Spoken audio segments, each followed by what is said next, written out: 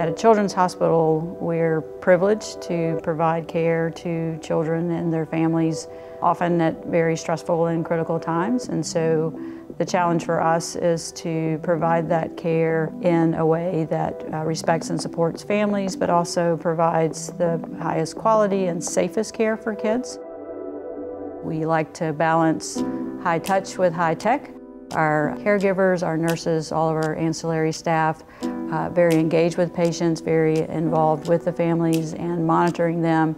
Uh, but sometimes there can be changes that are subtle, and so the data that we're able to collect through vital signs monitoring, um, but then also leverage technology and analyzing that information, looking for trends, provides another level, if you will, of being able to identify changes early. So anything that we can leverage to um, make their job easier, if you will, provide um, safety nets, provide support for them in their task of monitoring children, I think is, is a satisfier for staff because it, it supports them in doing what they're here to do, which is provide the best care that they can.